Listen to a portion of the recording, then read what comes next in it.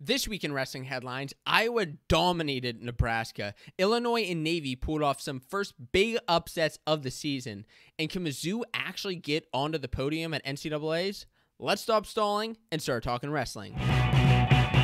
What's going on, wrestling fans? My name's Josiah, and welcome to the wrestling headline segment here on the Fanco Wrestling YouTube channel. And this week, we're talking so much because what a heck of a weekend. I mean, these are the weekends I live for in wrestling. There's so many great matches and upsets and, and, dual meets that really started with Iowa and Nebraska. And I'll get to that dual meet in just a second. But first, I want to ask you if you get some entertainment out of this video, if you get some education on what happened this weekend in these recaps, I want to ask you that you not only subscribe to this channel, but make sure to share this video with your friends and family that also enjoy wrestling on Facebook or Twitter or whatever you are on social media. It not only helps out the channel, but helps me to continue to keep you updated with what's going on in wrestling. And, you know, the first thing we have to talk about is some upsetting news.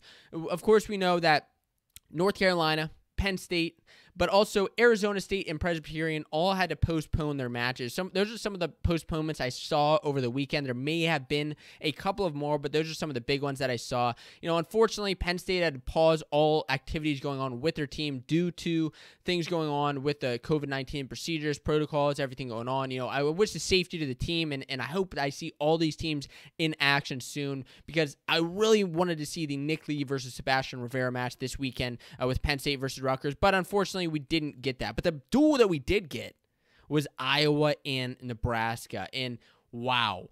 Now, I've done a couple of videos predicting what I think could happen. I mean, there was one I talked about where Nebraska had to pull off some things in order to beat Iowa, but Iowa just shut all that down. And, my prediction, my actual real prediction for the duel was 29 to 6, and I was pretty darn close because Iowa ended up winning 31 to 6. Now I was off on a couple of matches and I'll talk about some of the things that did happen in this duel. So first of all, Spencer Lee came out strong in this duel, and I, I think that Spencer Lee is somebody who can absolutely win by bonus point every single match, and he started out the season by doing just that with a first period pin over Liam Cronin. What a I mean, what a way to start out the season. Seriously, what a way to start out the season. Now, the other guy who started out the season strong was Austin DeSanto with a tech fall, and his antics are back. I love watching Austin DeSanto on the match. He's a controversial wrestler, but I seriously do enjoy watching him. He was just kind of toying around with his opponent uh, from Nebraska, as you see here in this video, and just as, as he was going for the tech fall. I believe he got the tech fall ultimately in the second period. And DeSanto, I mean, start strong start for for the kid. Now the other guys I have to talk about. Max Murin started at 149, and he's somebody I was interested to see how he did at 149 because he was moving up from 141, and he looks like he kind of grew into that weight. He had some time, obviously, to put on some muscle, put on some weight, and he, and he did that. He got the win over number 20 Brock Hardy. I was expecting this to be a match, and it was. It was a good match. Uh, Brock Hardy just coming off a win against Michael Blockhus, but Max Murin was able to shut him down. Now, I will be talking about uh, the full Iowa Nebraska duel uh, that you can watch on a video in my channel, the full breakdown, everything in detail with each of these matches. But I did want to hit on just some of the big points that happened and some of the other things. You know, Eierman made his debut in an Iron uh, in an Iowa singlet, beating Chad Red, uh, which is a solid first win for him. Nelson Brands gets his first win, 2021 win in an Iowa singlet, starting at 184 pounds which was great. I mean, we got to see Nelson Brand instead of Abe Assad at 184 as as excuse me, and the other guy that also didn't wrestle in this match was Michael Kemerer. Now, the Iowa Hawkeyes decided to start Kennedy at 174 instead. Not sure what reason that is. Maybe Kemerer is going through something else, but we didn't get to see Kemerer or Abe Assad in this match. But the Hawkeyes still did put on an excellent performance. And one of the other guys who put on a great performance is Alex Marinelli, who had a ranked win over Peyton Robb, who's a top 20 ranked opponent, beaten by a score of 9 to 3. And although the score wasn't too high, and, Marinelli isn't always a crazy bonus point scorer, he had total control of the match and, just showed that he is he's determined this season. He is absolutely determined this season. Now, the one match that I do also want to talk about that was good for Nebraska uh, because they did get wins uh, with Labriola, but also with Schultz over Warner. That was a great match by Schultz, and Schultz is somebody who I'm really looking to see in the NCAA finals this year. But Warner showed that he's right there with him, and I think think that this is just going to be a crazy match. Again, full uh, crazy match potentially at the Big Tens and NCAAs. And I mean, heck of a win for Iowa over Nebraska. Now, like I said, full update, full recap of this match is up on the Fanco Wrestling channel if you're looking for the full in detail. But I want to talk about Illinois and Ohio State. Illinois pulled off a massive Big Ten update uh, upset. Number 24 Illinois upsetting number seven Ohio State 18 to 5 or 18 to 15 excuse me 18 to 15 if 18 to 5 would be like what happened 18 to 15 they beat them. Holy cow what a match from illinois. Now we weren't sure what we were going to get out of ohio state this season. We knew i, I was somebody who's kind of always said that like ohio state is a team that you don't want to underestimate. And I think I have to say now, like Illinois is not a team that you want to underestimate. Now, although Ohio State did start out the dual meet strong with Malik Heinselman getting a win over number 13 Justin Cardani, and Ohio State actually did have some good performances, including Malik Heinselman, who also had a win over Wisconsin. But like I said, like Ohio State didn't have too bad of a duel. It was just a couple things that needed to turn around. One of the things that I do want to talk about though is Sammy Sasso. Now, Sammy Sasso was able to earn a pin over Mikey Carr in the first period. He was able to cradle up Mikey Carr and in that deadly Sammy Sasso cradle. And Mikey Carr is somebody uh, from Illinois who I've kind of said is, is a dark horse to get on the podium this year. But Sammy Sasso proved why he's able to pin and be at the top of 149 pounds because, I mean, he is just a straight up savage. An- another thing that I want to talk about here is the Broncos. They were the big reason, I think they were a key reason at least, in why Illinois was able to beat Ohio State. They didn't have crazy, exciting wins. They they but they were important. They were important wins. They were big wins. Not big upsets, not exciting, but important wins. Dan Braunagel beat uh, Ethan Smith by a score of six to five at 165 pounds, and Zach Braunagel beat Rocky Jordan by a score of two to one. So like I said, just decisions, not crazy wins, but very important.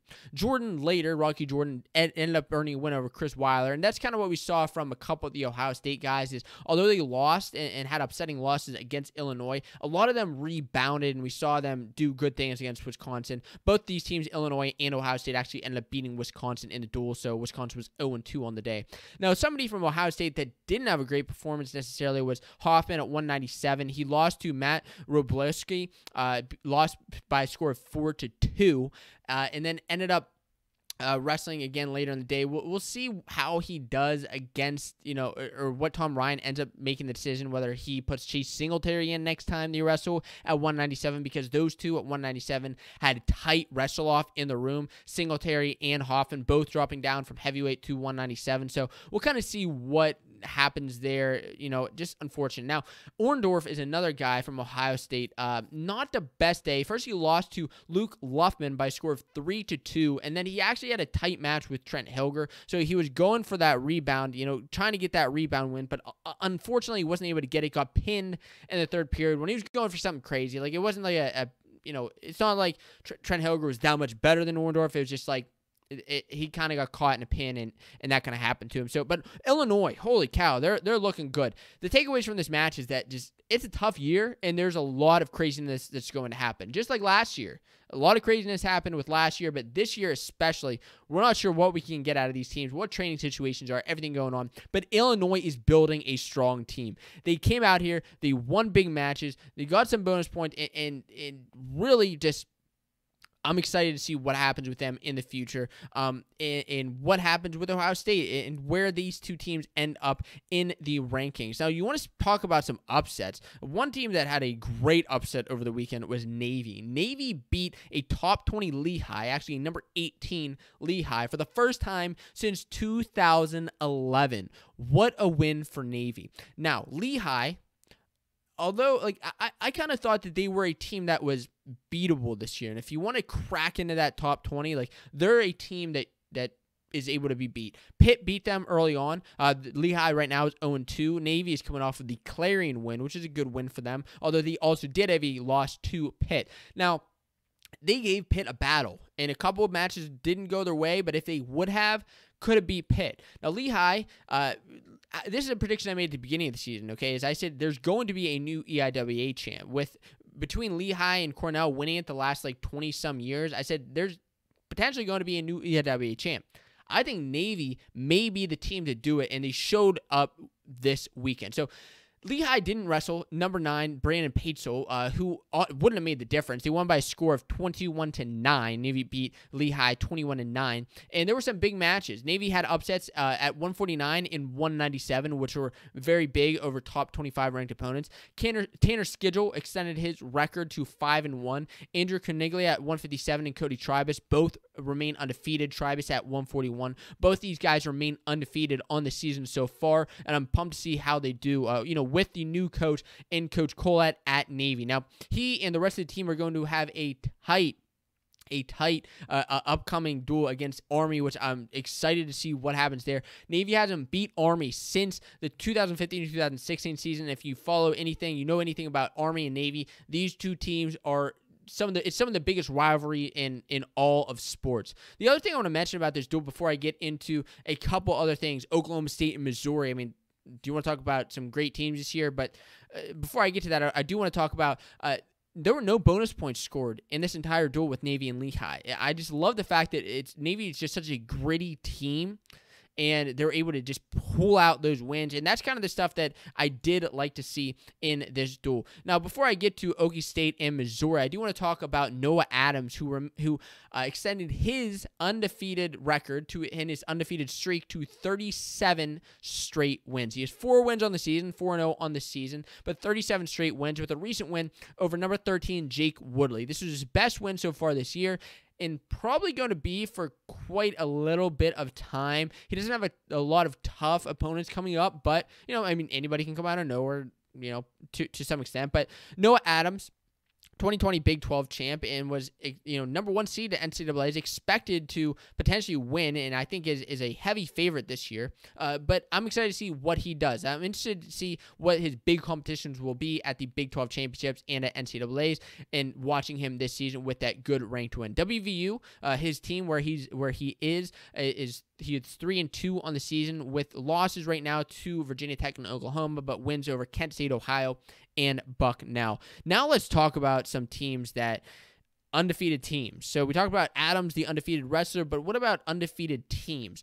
Okie State and Mizzou remain undefeated this season. Now, first I want to talk about Okie State, who's 4 and 0 this year. Now, listen, the, the big the big story this weekend is that is that John Smith uh, extends his wins record, wins to all time wins to 443 dual meet wins with his win over Little Rock. Now, which is exciting. It's awesome for John Smith and the Oklahoma State program. Now, the the thing is like they haven't really beat anybody this season, right? So you can't be, really be too stoked on them right now. I, I, think if they pull off some other big wins, you can be stoked on them. But they beat Chattanooga, Oregon State, SIUE, Little Rock. Like I, am excited for them to be wrestling UNI, Iowa State, Oklahoma. Those are the teams that I'm really going to be looking forward to. Oklahoma State wrestling.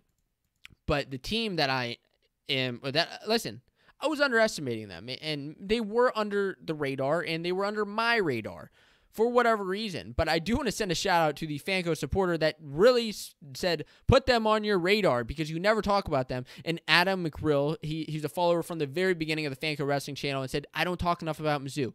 And maybe you're right. But Mizzou are 7 and 0 this season. The team is 7 and 0. I mean, they have more dual meets than a lot of other teams. I mean, a lot of teams, like I would and a couple of these other teams, like Iowa just wrestled their first dual meet, right? But Mizzou is seven and zero. Oh. It's awesome, and I hope that this continues. But they have wins over a over three top twenty five programs right now in Central Michigan, uh, who's a who at the time was top twenty team. Northern Iowa, who's a top 20 team, and Iowa State most recently over Iowa State. And this was a great duel. They beat Northern Iowa 34 to 6 this weekend, and they beat Iowa State 31 to 7.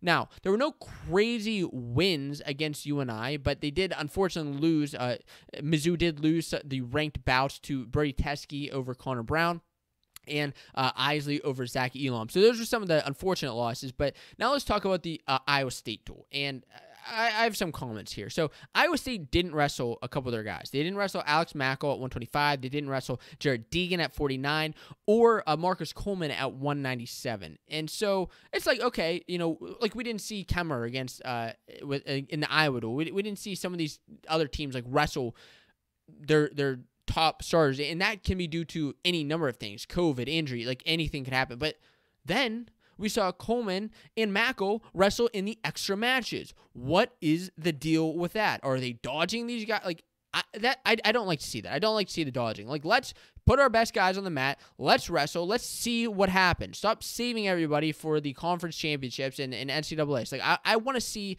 the excitement. Now maybe there's a good reason for that, but Iowa State's kind of been known for pulling this stuff off. And to be honest with you, I don't like it. But where were some of the big duels that or big matches that uh, Mizzou did win? At 141, number 11 Alan Hart beat number four Ian Parker.